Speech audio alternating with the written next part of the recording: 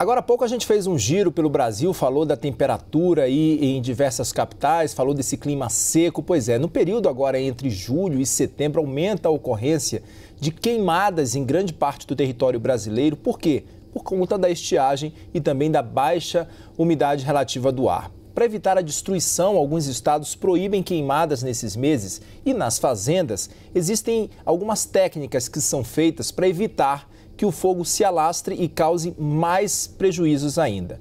A nossa especialista CNN em agronegócio, a Carmen Pérez, comenta esse assunto para gente.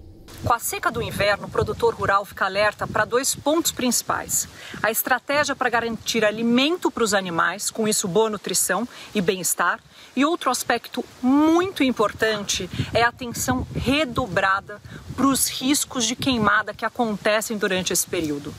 Não sei se vocês sabem, mas cada fazenda tem diversas estratégias para coibir e enfrentar os incêndios em suas terras, como também auxiliar os vizinhos que passem por isso. São aceiros, ou seja, áreas para evitar a propagação do fogo, como a área que eu estou aqui agora. Os reservatórios de água estratégicos, equipamentos para combater os incêndios e conscientização de todos para evitar esses incêndios. Estamos no início da seca, mas nosso alerta já está acionado para evitar esse dano que pode ser um risco para a natureza, as plantações e os animais.